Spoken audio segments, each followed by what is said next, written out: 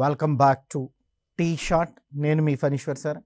మనం ప్రభుత్వ విత్తము పబ్లిక్ ఫైనాన్స్ అనేటువంటి టాపిక్ గురించి డిస్కస్ చేస్తున్నాం. దాంట్లో ప్రత్యక్ష పన్నుల గురించి మనం చదవడం అన్నటువంటిది పూర్తి చేసాం మరి ఈ ఎపిసోడ్లో మనం ఏం తెలుసుకుంటున్నామయ్యా అంటే ఇండైరెక్ట్ ట్యాక్సెస్ పరోక్ష పన్నులు అంటే ఏంటివి అనేటువంటి వాటి గురించి మనం తెలుసుకుంటున్నాం. పరోక్ష పన్నుల గురించి మనం తెలుసుకుంటున్నాం. ప్రత్యక్ష పన్నుల గురించి మనం చదివేటప్పుడు తొలి భారము తుది భారము ఒకరే భరిస్తారని చదివాము. కానీ ఇక్కడ సో ఇండైరెక్ట్ ట్యాక్స్లో పరోక్ష పన్నుల్లో చూసినట్లయితే పన్ను తొలి భారం ఒకరు అంతిమ భారం వేరే వ్యక్తులు. పన్ను తొలి భారము అంతిమ భారము వేరు వేరు వ్యక్తులు వ్యక్తులపై పడితే దాన్ని పరోక్ష పన్నుగా నిర్వచిస్తారు. అంటే పన్ను యొక్క తుది భారం వేరు తొలి భారం వేరు. అంటే తొలి భారం ఒకరిపైన పన్ను యొక్క తుదిభారం మరొకరిపైన పడితే దాన్ని మనం ఏమంటున్నాం? ఇండైరెక్ట్ ట్యాక్స్ అంటారండి. పరోక్ష పన్ను అంట. సో పరోక్ష పన్ను అంటే డెఫినేషన్ ఏం చెప్తున్నారయ్యా అంటే తొలి భారము లేదా తొలి పన్ను యొక్క తొలి ప్రభావము అంతిమ ప్రభావము వేరువేరు వ్యక్తులపై పడితే దాన్ని మనం ఏమంటున్నాం? పరోక్ష పన్ను. సో దాన్నే మనం ఏమేమి చెప్తున్నాం? తొలి భారం ఒకరిపైన తుది భారం మరొకరిపైన అంటే వేరువేరు వ్యక్తులు. తొలి భారాన్ని మోసేది వేరు తుది భారాన్ని మోసేది వేరు. ఇలా పన్ను యొక్క తొలి భారాన్ని ఒకరు తుది భారాన్ని వేరొకరు మోస్తే దాన్ని ఏమంటున్నాము? పరోక్ష పన్ను అంటున్నాం దాన్నే ఇంగ్లీష్లో ఇండైరెక్ట్ ట్యాక్స్ అంటున్నాం.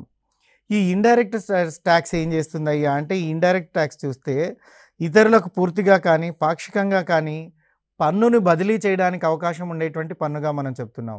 దీనిని ఇతరులకు పూర్తిగా కానీ పాక్షికంగా కానీ బదిలీ చేయవచ్చు. అంటే పరోక్ష పన్ను తొలి భారం ఒకరు భరిస్తున్నారు తుది భారం వేరొకరు భరిస్తున్నారు కాబట్టి దీనిని ఇతరులకు మనం పూర్తిగా కానీ పాక్షికంగా కానీ మనం ఇతరులకు దీన్ని ట్రాన్స్ఫర్ చేయడం అన్నటువంటిది జరుగుతుంది. ఉదాహరణకు చూద్దాం. ఇండైరెక్ట్ ట్యాక్స్కి ఉదాహరణలు ఏంటి? అన్నప్పుడు మనం చూసినట్లయితే ఎక్సైజ్ సుంకం అదేవిధంగా కస్టమ్స్ సుంకం.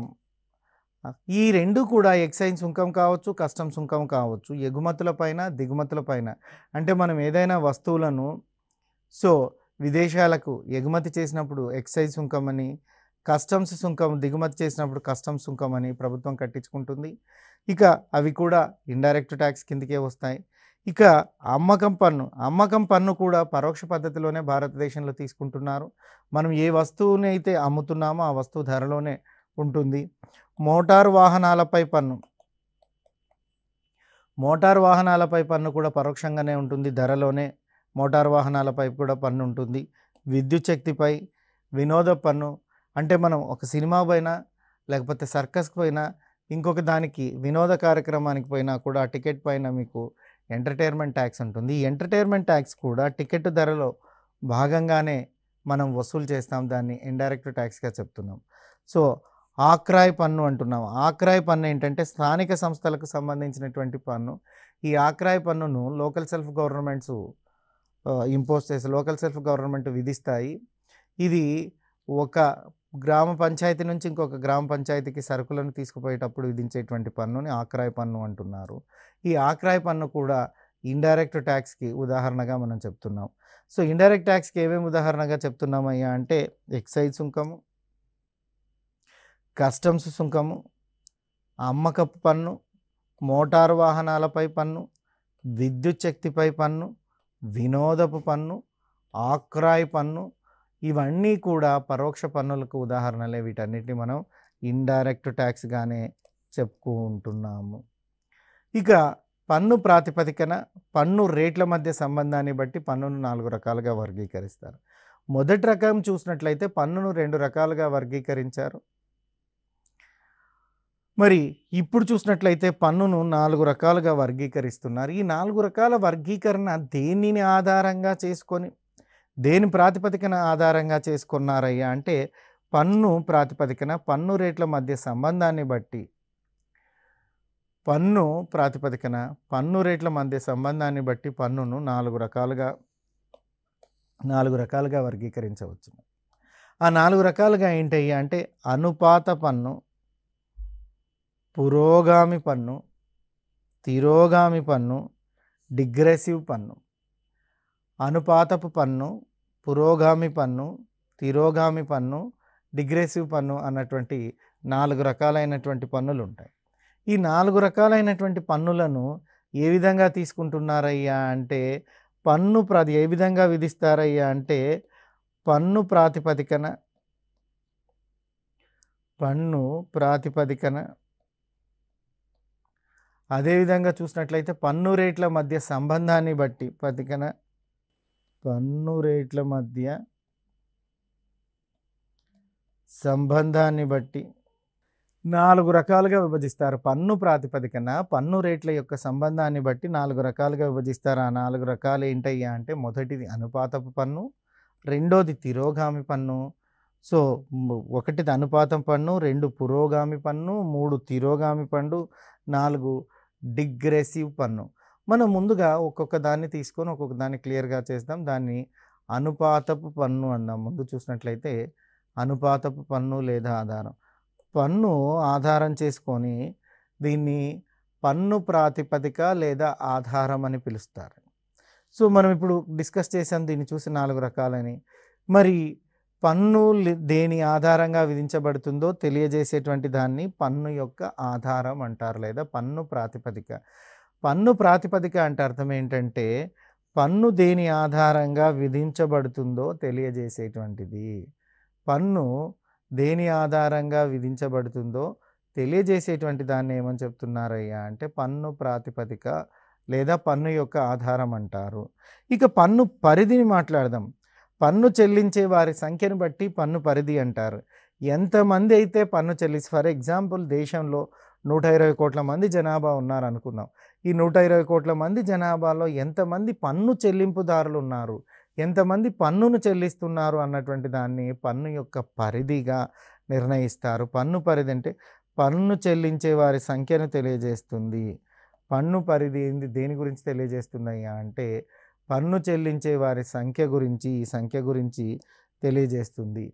ఎప్పుడైనా ఒక రూల్ ఇది గుర్తుపెట్టుకోవాలి. విలోమ సంబంధం ఉంటుంది. ఇక్కడికి చూసినట్లయితే ఎవరెవరికి పన్ను రేటుకు పన్ను పరిధికి పన్ను రేటుకు పన్ను పరిధికి విలోమ సంబంధం ఉంటుంది. అంటే పన్ను రేటు తక్కువగా ఉంటే పన్ను రేటు తక్కువగా ఉంటే ఏమవుతుంది? పన్ను కట్టే వాళ్ళ యొక్క సంఖ్య పెరుగుతుందండి. పన్ను రేటు తక్కువగా ఉంటే పన్ను కట్టే వాళ్ళ సంఖ్య పెరుగును. ఇది విలోమ సంబంధం అంటే అంటే ఆపోజిట్. పన్ను రేటు ఎక్కిందనుకోండి కట్టే వాళ్ళ సంఖ్య తగ్గుతుంది. పన్ను రేటు ఎక్కువగా ఉంది. అప్పుడు ఏమవుతుంది కట్టే వాళ్ళ సంఖ్య తగ్గుతుంది. దీన్నే విలోమ సంబంధం అంటారు. అంటే పన్ను రేటుకి పన్ను పరిధికి విలోమ సంబంధం. పన్ను కట్టే వారి సంఖ్యనే పన్ను పరిధిగా మనం చెప్తున్నామండి. పన్ను చెల్లించే వారి సంఖ్యను తెలియజేసేదే పన్ను పరిధి అని మనం నిర్వచిస్తున్నాం. మరి పన్ను రేటుకు పన్ను పరిధికి మధ్య ఎలాంటి సంబంధం ఉందయ్యా అంటే విలోమ సంబంధం ఉంది. అంటే పన్ను రేటు తక్కువగా ఉంటే పన్ను కట్టే వాళ్ళ సంఖ్య ఎక్కువగా ఉంటుంది. పన్ను రేటు త ఎక్కువగా ఉంటే పన్ను కట్టేటువంటి సో పన్ను రేటు తక్కువగా ఉంటే కట్టేటువంటి వాళ్ళ సంఖ్య కూడా సో ఎప్పుడైతే పన్ను రేటు ఎక్కువైతుందో కట్టే వాళ్ళ సంఖ్య తగ్గుతుంది. పన్ను రేటు తక్కువగా ఉంటే కట్టే వాళ్ళ సంఖ్య పెరుగుతుందండి. కట్టే వాళ్ళ సంఖ్య పెరుగుతుంది. ఇది విలోమ సంబంధం. రేటు తక్కువ ఉంటే కట్టే వాళ్ళు ఎక్కువగా ఉంటారు. రేటు ఎక్కువ ఉంటే కట్టే వాళ్ళు తక్కువగా ఉంటారు అని అర్థము. దీన్నే మనం ఏం చెప్తున్నాం? ఆర్థిక పరిభాషలో పన్ను రేటుకు పన్ను పరిధికి మధ్య విలోమ సంబంధం ఉంటుంది. పన్ను రేటుకు పన్ను పరిధికి మధ్య విలోమ సంబంధం ఉంటుంది అని మనం తెలియజేస్తున్నాం. ఇక అనుపాతపు పన్ను గురించి అంటే ఈ నాలుగు రకాల పన్నులని చూసాం కదా ఈ నాలుగు రకాల పన్నుల్లో మొట్టమొదటి పన్ను మనం ఏం చేస్తున్నామంటే ప్రపోర్షనల్ ట్యాక్స్ అంటున్నారు. ప్రపోర్షనల్ ట్యాక్స్నే తెలుగులో అనుపాతపు పన్ను అని చెప్తున్నారండి. అనుపాతపు పన్ను it's called in English proportional tax. ఆదాయ సంపదలతో సంబంధం లేకుండా దేశంలోని అన్ని వర్గాలకు స్థిరమైన పన్ను రేటును విధించినట్లయితే దాన్ని అనుపాతపు పన్ను అంటారండి. అంటే ఇక్కడ ఆదాయంతో ఏమాత్రం సంబంధం లేదు. ఇది స్థిరంగా ఉంటుంది. దేశ ప్రజలందరి మీద విధించబడుతుంది. ఆదాయంతో సంబంధం లేకుండా అన్ని వర్గాలకు స్థిరమైనటువంటి అన్ని వర్గాలకు స్థిరమైనటువంటి పన్ను రేటును విధిస్తే దాన్ని మనం ఏమంటున్నాం? అనుపాత పన్ను అంటున్నాం. ఆదాయం ఎంత పెరిగినా పన్ను రేటులో మార్పు రాదు. అనుపాత పన్నులో పన్ను స్థిరంగా ఉంటుంది. పన్ను రేటులో మార్పు రాదు. అనుపాత పన్నులో అనుపాత పన్నులో పన్ను స్థిరంగా ఉంటుంది. అనుపాత పన్నులో పన్ను స్థిరంగా ఉంటుంది. అదేవిధంగా మనం చూసినట్లయితే ఆదాయం పెరిగినా పన్ను రేటులో మార్పు రాదు. ఆదాయం పెరిగిన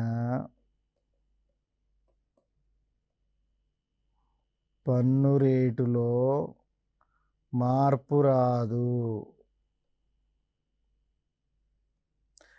సో కాబట్టి మనం దీనికి ఏం చెప్తున్నాం? అనుపాత పన్ను అంటే ఆదాయంతో సంబంధం లేకుండా ఆదాయంతో కానీ సంపదతో కానీ సంబంధం లేకుండా అన్ని వర్గాల ప్రజలకు స్థిరమైనటువంటి పన్ను రేటును విధించడాన్ని అన్ని వర్గాల ప్రజలకు స్థిరమైనటువంటి పన్ను రేటును విధించడాన్ని అనుపాతపు పన్ను అంటారు. అనుపాతపు పన్ను విషయానికి వస్తే ఆదాయం ఎంత పెరిగినా పన్ను రేటులో మార్పు రాదు. ఆదాయం ఎంత పెరిగినా పన్ను రేటులో మార్పు అన్నటువంటిది రాదు. ఇక మన దేశంలో ఎక్కువగా విధించేటువంటి పన్ను ఏంటయ్యా అంటే అనుపాత పన్నులే. భారతదేశంలో ఎక్కువగా విధించబడే పన్నులేవి అనుపాతపు పన్నులు. భారతదేశంలో ఎక్కువగా విభజించబడేటువంటి విధించబడేటువంటి పన్నులు ఏవి అంటే అనుపాతపు పన్నును ఎక్కువగా విధిస్తారు. భారతదేశంలో చూసినట్లయితే పరోక్ష పన్నులు చాలా వరకు అనుపాత పన్నులే. భారతదేశంలో ఎక్కువగా పరోక్ష పన్నులు ఉంటాయి భారతదేశంలో విధించేటువంటి పరోక్ష పన్నులన్నీ కూడా అనుపాత పన్నులే. దేశంలో పరోక్ష పన్నులు అనుపాత పన్నులు దేశంలో పరోక్ష పన్నులన్నీ కూడా అనుపాత పన్నులుగా చెప్పవచ్చును. ఇకపోతే అమ్మకపు పన్నులు కస్టమ్స్ డ్యూటీ ఎక్సైజ్ సుంకాలు సేవా పన్ను వినోద పన్ను మొదలగున పన్నులన్నీ కూడా ఇండైరెక్ట్ ట్యాక్స్ పరోక్ష పన్నులే. అయితే ఇవన్నీ కూడా అనుపాతపు పన్నుల కిందికి వస్తాయి. అనుపాతపు పన్నులు ఈ అనుపాతపు పన్నుల కిందికి వస్తాయి. ఏమేమి వస్తున్నాయి? అమ్మకం పన్ను కస్టమ్స్ పన్ను ఈ రెండు అనుపాతాలకు వస్తున్నాయి. వీటితో పాటుగా చూసినట్లయితే అమ్మక పన్ను కస్టమ్ పన్ను ఎక్సైజ్ సుంకము సేవా పన్ను మరియు ఎంటర్టైన్మెంట్ ట్యాక్స్ వినోదపు పన్ను సేవా పన్నులు ఇవన్నీ కూడా దేని కిందికి వస్తున్నాయి అంటే అనుపాతపు పన్నుల కిందికి వస్తున్నాయి. పరోక్ష పన్నులు అనుపాత పన్నుల గురించి మనం మాట్లాడుతున్నాం. ఇక అనుపాత ప్రాతిపదికన సో పన్ను ప్రాతిపదికన చూసాం సో రెండవదైనటువంటి పురోగామి పన్ను గురించి మనం డిస్కస్ చేస్తున్నాం. ఇక మొదటిది అనుపాత పన్ను అయిపోయింది. రెండోది చూసినట్లయితే పురోగామి పన్ను అంటున్నారు. ప్రోగ్రెసివ్ ట్యాక్స్ అంటున్నారు. మరి ప్రోగ్రెసివ్ ట్యాక్స్ అంటే ఏంటి? ఆదాయము సంపద విలువ పెరుగుతూ ఉంటే పన్ను రేటు కూడా పెరిగితే దాన్ని పురోగామి పన్ను అంటారు. ఆదాయము సంపద విలువ పెరుగుతూ ఉంటే దాంతోపాటుగా పన్ను రేటు కూడా పెరిగినట్లయితే దానిని ఏమంటున్నారు? పురోగామి పన్ను అంటున్నారండి. పురోగామి పన్ను అంటున్నారు. మరి పురోగామి పన్నులు డెఫినేషన్ ఏం చూద్దాం ఒక్కసారి. పురోగామి పన్ను అంటున్నారు. ఎప్పుడైతే అనుపాత పన్ను అన్నటువంటిది స్థిరంగా విధించేటువంటి పన్ను పురోగామి పన్ను అన్నటువంటి దాన్ని చూసినట్లయితే ఆదాయము సంపద విలువ పెరుగుతుంటే పన్ను రేటు కూడా పెరుగుతూ ఉంటుంది. సో పురోగామి పన్ను ఏంటంటే ఆదాయము సంపద. వీటి విలువ పెరుగుతుంటే పన్ను రేటు కూడా పెరుగుతూ ఉంటుంది. పన్ను రేటు కూడా పెరుగును. అలా ఎక్కడైతే విలువ పెరిగితే పన్ను రేటు పెరుగుతుందో దాన్ని మనం ఏమంటున్నాం? పురోగామి పన్ను అంటున్నాం. పన్ను రేటు పెరుగును. మరి ఈ పురోగామి పన్ను చూసినట్లయితే ఆదాయ సంపదల విలువలు పెరిగినప్పుడు పన్ను రేటు కూడా పెరుగుతుంది. ఎందుకు ఈ పురోగామి పన్ను విధించాల్సి వస్తుందయ్యా అంటే సమ సమాజాన్ని డెవలప్ చేయడం కొరకు సమ సమాజాన్ని అభివృద్ధి పరచుటకు సమ సమాజాన్ని స్థాపించుటకు ఆర్థిక అసమానతలను తగ్గించుటకు ఆర్థిక అసమానతలను తగ్గించుటకు ఆర్థిక న్యాయం అనేటువంటి ఉద్దేశాల కొరకు విధించబడినటువంటి పన్నులనే మనం ఏమంటున్నాం పురోగామి పన్ను అంటున్నాం. సో ఈ ఆర్థిక ఉద్దేశ ఆర్థిక న్యాయం అన్నటువంటి ఉద్దేశాలను నెరవేర్చట కొరకు ఆ ఉద్దేశాల కొరకు విధించబడినటువంటి పన్నే పురోగామి పన్ను అంటున్నాం. సో పురోగామి పన్ను ఏంట ఏంటయ్యా అంటే ఆదాయ సంపద విలువలు పెరుగుతూ ఉన్నప్పుడు పన్ను రేటు కూడా పెరిగితే దానిని పురోగామి పన్ను అంటారు. సో మరి ఈ పురోగామి పన్ను మనం చూసినట్లయితే సమ సమాజం ఆర్థిక అసమానతల తగ్గింపు ఆర్థిక న్యాయం అనేటువంటి ఉద్దేశాలు విధించబడేటువంటి పన్నునే మనం ఏమంటున్నాం? పురోగామి పన్నులు అంటున్నాం. విధించబడేటువంటి పన్నులనే మనం ఏమంటున్నాం? పురోగామి పన్నులు అని అంటున్నాం. ఇక ఈ పురోగామి పన్ను చెల్లింపు సామర్థ్యంపై ఆధారపడి ఉంటుంది. ఎవరి మీద ఈ పురోగామి పన్ను ఆధారపడి ఉంటుంది? చెల్లింపు సామర్థ్యంపై. అంటే ఎవరైతే చెల్లిస్తున్నారు ఇప్పుడే మనం చెప్పాము ఆదాయం పెరిగినప్పుడు అంటే ఆదాయం పెరుగుతుందంటే చెల్లింపు సామర్థ్యం పెరిగినప్పుడు. సో పురోగామి పన్ను మనం ఏదైతే చూస్తున్నట్లయితే సో ఈ పన్ను మొత్తం చూసినట్లయితే మనం దేని మీద ఆధారపడుతుందయ్యా అంటే పురోగామి పన్ను చెల్లింపు సామర్థ్యం మీద ఆధారపడును. పురోగామి పన్ను ఎవరి మీద ఆధారపడుతుంది? చెల్లింపు సామర్థ్యం పైన ఆధారపడును. పురోగామి పన్ను చెల్లింపు సామర్థ్యం పైన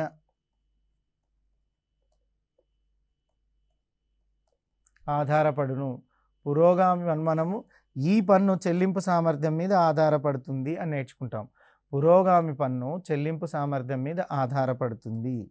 ఇక తర్వాత చూసినట్లయితే ఆదాయ స్థాయి పెరిగితే పన్ను భారం పెరిగినట్లుగానే పురోగామి పన్నులో భావిస్తారు. ఆదాయ స్థాయి పెరిగిందంటే మనం డెఫినేషనే ఏమనుకున్నాం? సో ఆదాయం పెరిగితే పన్ను పెరుగుతుందని.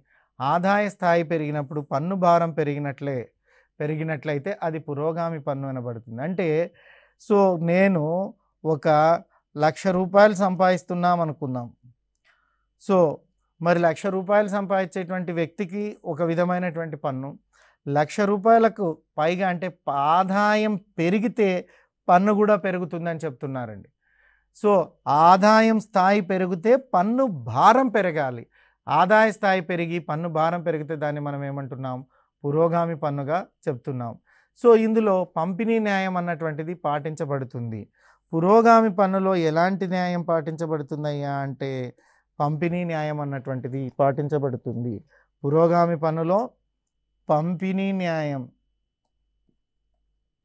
ఈ పంపిణీ న్యాయం అంటే ఏంటయ్యా? అంటే ఆదాయం పెరిగిన వాళ్ళ కాడ అధికంగా ఆదాయం ఉన్నటువంటి వాళ్ళ దగ్గర అధికంగా పన్నులు వసూలు చేయడం అంటే ఆదాయాన్ని బట్టి పన్నును వసూలు చేయడం పంపిణీ న్యాయం అన్నటువంటిది. ఆదాయాన్ని బట్టి లేదా ఆదాయాన్ని ఆధారంగా చేసుకొని పన్నును వసూలు చేయడం పన్నును విధించడం. సో ఆదాయాన్ని బట్టి పన్నును విధించడం. సో ఆదాయాన్ని బట్టి పన్నును విధిస్తున్నారు. ఇది పురోగామి పన్నులో జరిగేటువంటిది. పురోగామి పన్నులో ఆదాయం పెరిగితే పన్ను భారం కూడా పెరగాల్సిందే. సో ఈ పన్ను చెల్లింపు సామర్థ్యం పైనే ఆధారపడి ఉంటుంది. ఇక ఈ పన్ను విధింపు వలన ధనిక వర్గాలపై అధిక భారము పేద వర్గాలపై తక్కువ భారం పడుతుంది. సో ఎందుకు ఇలా అంటే ఆదాయం మీదనే ఆధారపడి ఉంటుంది కాబట్టి ఎక్కువగా ఆదాయం వచ్చేటువంటి ధనికులపై ఎక్కువ భారం పడుతుంది తక్కువగా ఆదాయం వచ్చేటువంటి పేదలపై తక్కువగా బాధ భారం పడుతుంది. అంటే ఆదాయం మీదనే ఆధారపడుతుంది అని అర్థం. సో ఆదాయం మీదనే మరి పన్ను ధనిక వర్గాలపై అధికంగా భారం ఎందుకు పడుతున్నాయి అంటే ధనిక వర్గాల ఆదాయం ఎక్కువగా ఉంటుంది కాబట్టి భారం ఎక్కువగా పడుతుంది. సో ఆదాయం ఎక్కువ ఉంటే పన్ను భారం కూడా ఎక్కువగానే ఉంటుంది. మరి పేద వర్గాలకు ఎందుకు తక్కువ భారం ఉంటుంది అంటే పేద వర్గాల యొక్క ఆదాయం తక్కువ ఉంటుంది కాబట్టి భారం కూడా తక్కువగా ఉంటుంది.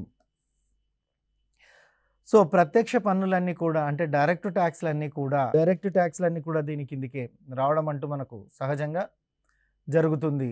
ఇక వ్యక్తిగత ఆదాయ పన్ను కార్పొరేట్ పన్ను సంపద పన్ను వృత్తి పన్ను మొదలైనవి ఈ కేటగిరీ కిందకే రావడం అన్నటువంటిది జరుగుతుంది. సరే ఫర్ ఎగ్జాంపుల్ చూసినట్లయితే వ్యక్తిగత ఆదాయ పన్ను కార్పొరేట్ పన్ను సంపద పన్ను వృత్తి పన్ను ఇవన్నీ కూడా మనం చూసినట్లయితే ఈ పన్ను కిందకే రావడం అంటూ జరుగుతుంది. ఇక మూడోది తిరోగామి పన్ను. ఈ మూడో తిరోగామి పన్ను గురించి మనం చదివేటప్పుడు సో మొదటి రెండు పన్నులను చూసాం అనుపాత పన్ను అండ్ పురోగామి పన్ను. ఒకటి అనుపాత పన్ను గురించి చూసాం. రెండు పురోగామి పన్ను చూసాం.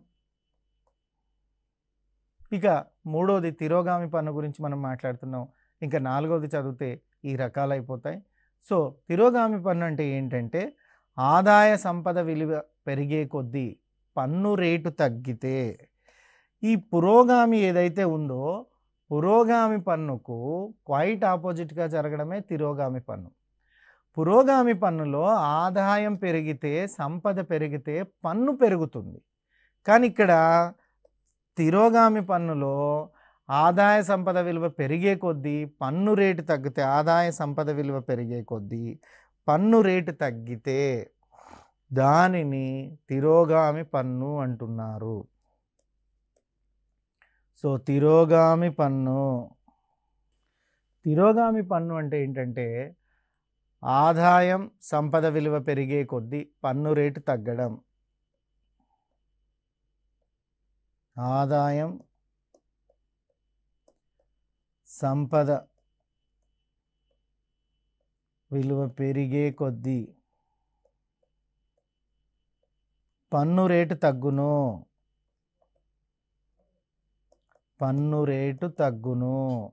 అలా పన్ను రేటు తగ్గితే ఆదాయం సంపద విలువ పెరిగే కొద్దీ పన్ను రేటు తగ్గితే దాన్ని మనం ఏమంటున్నాము? తిరోగామి పన్ను అంటున్నాము. తిరోగామి పన్ను అంటున్నాము. ఈ పన్నుల విధానంలో ఎక్కువ ఆదాయ వర్గాల వారికి పన్ను రేటు తక్కువగా ఉంటుంది. అంటే ఈ తిరోగామి పన్నులో చూసినట్లయితే ఎక్కువ ఆదాయం ఉండేటువంటి వారికి పన్ను రేటు తక్కువగా ఉంటుంది. సో ఈ తిరోగామి పన్నులో ఎక్కువ ఆదాయం ఉండేటువంటి వర్గాలకు ఎక్కువ ఆదాయం ఉండేవారికి ఎక్కువగా ఆదాయం ఉండేటువంటి వారికి ఏమవుతుంది? పన్ను రేటు తక్కువ అవుతుంది పన్ను రేటు తగ్గును. సో ఇందులో చూసినట్లయితే ఆదాయం పెరిగే కొద్దీ పన్ను రేటు తగ్గుతుంది అంటున్నారండి. ఎక్కువ ఆదాయం వర్గాల వారికి పన్ను రేటు తక్కువగా ఉంటుంది. అదేవిధంగా మనం చూసినట్లయితే ఈ ప్రస్తుతం ఈ ప్రపంచంలో ఏ దేశం కూడా ఈ విధానాన్ని అనుసరించటం లేదన్నటువంటిది అభ్యర్థులందరూ గుర్తుపెట్టుకోవాలి. సాధారణంగా ఎక్కువగా ఆదాయం ఉండే వాళ్ళకి ఎక్కువగా పన్ను విధించాలి. కానీ ఈ పన్ను ఏం చెప్తుందయ్యా అంటే ఆదాయం ఎక్కువగా ఉండేటువంటి వాళ్ళకు తక్కువగా చెప్తుంది కాబట్టి ప్రస్తుతం ప్రపంచంలో కూడా ఎక్కడ కూడా దీనిని అనుసరించుట లేదు. ఇక్కడ మనం ఏం రాస్తామంటే దీన్ని అనుసరించడం లేదు. మన దేశంలోనే కాదు దాదాపుగా ప్రపంచమంతా కూడా ఇలాంటి పన్నుని పురోగామి పన్ను అన్నటువంటి పన్నుని అనుసరణ ఏం కాదు? అనుసరించడం కూడా లేదు అన్నటువంటి విషయాన్ని మనం గుర్తుంచుకోవాలి. ఏ దేశంలో కూడా ఈ పద్ధతి లేదు. ఇక పన్ను విధానంలో ఆదాయానికి పన్ను రేటుకు విలోమ సంబంధం అన్నటువంటిది ఉంటుంది. పన్ను విధానంలో చూసినట్లయితే ఆదాయానికి పన్ను రేటుకు విలోమ సంబంధం ఉంటుంది. ఆదాయం పెరిగే కొద్దీ పన్ను తగ్గుతూ ఉంది. సో ఇక్కడ ఈ విధానంలో చూసినట్లయితే ఈ తిరోగామి ఈ తిరోగామి పన్నును మనం గమనించినట్లయితే ఆదాయానికి పన్నుకు ఎలాంటి సంబంధం ఉంటుందయ్యా? అంటే విలోమ సంబంధం ఉంటుంది. ఆదాయానికి పన్నుకు విలోమ సంబంధం. సో ఈ తిరోగామి పన్నుల విషయంలో చూసినట్లయితే ఆదాయానికి మరియు పన్ను రేటుకి ఎలాంటి సంబంధం ఉంటుందయ్యా? అంటే ఆదాయానికి పన్ను రేటుకు విలోమ సంబంధం ఉంటుంది. అంటే ఆదాయం పెరిగితే పన్ను రేటు తగ్గును. పన్ను రేటు తగ్గును. ఇది విలోమ సంబంధం. ఆదాయం తగ్గితే ఆదాయం తగ్గితే పన్ను రేటు పెరుగును. పన్ను రేటు పెరుగును. అంటే ఆదాయానికి పన్నుకు విలోమ సంబంధం ఉంటుంది అని చెప్తున్నాం. మరి భారత్లో ఈ పన్నును పంతొమ్మిది వందల ఎనభైవ సంవత్సరంలో ఇందిరాగాంధీ గారు ప్రధానమంత్రిగా ఉండేటువంటి కాలంలో పారిశ్రామిక ఉత్పత్తులను ప్రోత్సహించడానికి విధించడం అన్నటువంటిది జరిగింది. పారిశ్రామిక ఉత్పత్తులను ప్రోత్సహించడానికి విధి విధించడం అనేటువంటిది జరిగింది. కానీ అనతి కాలంలోనే అనగా పంతొమ్మిది వందల ఎనభై నాలుగులోనే ఈ పన్నును రద్దు చేయడం కూడా జరిగింది. అనతి కాలంలోనే పంతొమ్మిది వందల ఎనభై నాలుగులోనే ఈ పన్నును రద్దు చేయడం జరిగింది. మరి ఈ పన్ను విధానం వల్ల ధనవంతులకు లాభం చేకూరుతుందని చెప్పవచ్చును. సో ఈ పన్ను విధానం వల్ల ధనవంతులకు లాభం చేకూరుతుందని చెప్పవచ్చు ఇది మనం తిరోగామి పన్ను గురించి చూసినట్లయితే అయితే ఈ ఎపిసోడ్లో మనం ఏం చదువుకున్నామయ్యా అన్నటువంటి దాన్ని చూసినట్లయితే సో మరి సో ఈ ఎపిసోడ్లో మనం ఏం చదువుకున్నామంటే పరోక్ష పన్నులు అంటే ఏంటివో చదువుకున్నాం. తొలి భారం ఒకరిపైన తుది భారం ఒకరిపైన విధించబడితే దాన్ని పరోక్ష పన్ను అంటున్నారు. పరోక్ష పన్నులకు ఉదాహరణలు చూసినట్లయితే ఎక్సైజ్ సుంకం కస్టమ్స్ సుంకము అమ్మక పన్ను మోటారు వాహనాలు పై విధించే పన్ను విద్యుత్ శక్తిపై పన్ను వినోద పన్ను ఆక్రాయ పన్ను అని నేర్చుకున్నాం. ఇక పన్ను ప్రాతిపదికన పన్ను రేటు మధ్య సంబంధమును బట్టి కూడా నాలుగు రకాలుగా విభజిస్తారని నేర్చుకున్నాం. ఆ నాలుగు రకాలు చూస్తే అనుపాత పన్ను పురోగామి పన్ను తిరోగామి పన్ను అండ్ డిగ్రెసివ్ పన్నులు ఉన్నాయి. పన్ను ప్రాతిపదిక లేదా భారం అంటే ఏంటయ్యా అంటే పన్ను దేని ఆధారంగా విధించబడుతుందో దాన్ని తెలియజేస్తుంది. పన్ను పరిధి ఏంటంటే పన్ను చెల్లించే వారి సంఖ్యను తెలియజేస్తుంది. పన్ను రేటుకు పన్ను పరిధికి మధ్య ఉండేటువంటి సంబంధం విలోమ సంబంధం అని నేర్చుకున్నాం. ఇక అందులో నాలుగు రకాల మొదటి చూస్తే అనుపాత పన్ను అంటున్నాం ప్రపోర్షనల్ ట్యాక్స్ ఆదాయ సంపదతో ఆదాయము సంపదతో సంబంధం లేకుండా అన్ని వర్గాలకు స్థిరమైన పన్ను రేటు విధించడం. ఆదాయం ఎంత పెరిగినా పన్ను రేటులో మార్పు రాదు. సో మన దేశంలో ఎక్కువగా విధించేటువంటి పన్ను అనుపాత పన్నే. ఇక భారతదేశంలో చూస్తే పరోక్ష పన్నులు చాలా వరకు అనుపాత పన్నుల్లోనే విధిస్తారు. ఇక పురోగామి పన్నుల విషయం బీకి వద్దాం దీన్ని ప్రోగ్రెసివ్ ట్యాక్స్ అంటున్నారు. ఆదాయము సంపద విలువ పెరిగే కొద్దీ పన్ను రేటు కూడా పెరుగుతూ ఉంటుంది. దాన్ని పురోగామి పన్ను అంటున్నాం. ఈ పన్ను చెల్లింపు సామర్థ్యంపై ఆధారపడి ఉంటుంది. ఇక పన్ను విధించేటువంటి సో విధింపు వలన ధనిక వర్గాలపై అధిక భారం పడుతుంది పేద వర్గాలపై తక్కువ భారం పడుతుంది. ఇక మూడోది సి మూడో రకాన్ని మనం చూసినట్లయితే తిరోగామి పన్ను అంటున్నారు. ప్రస్తుతం అయితే ప్రపంచమంతా తిరోగామి పన్నును అనుసరించడం లేదు. అయినప్పటికీ కూడా ఆదాయ సంపద విలువ పెరిగే కొద్దీ పన్ను రేటు తగ్గితే దానిని మనం తిరోగామి పన్ను కిందికి చెప్తూ ఉన్నాం. ప్రస్తుతం ప్రపంచంలో ఏ దేశం కూడా దీన్ని వాడడం లేదు. ఇక నెక్స్ట్ నాలుగవది అయినటువంటిది నెక్స్ట్ ఎపి ఎపిసోడ్లో డిగ్రెసివ్ పన్ను అన్నటువంటి దాన్ని చదువుదాం. So thank you me Phaniswar sir from T SAT.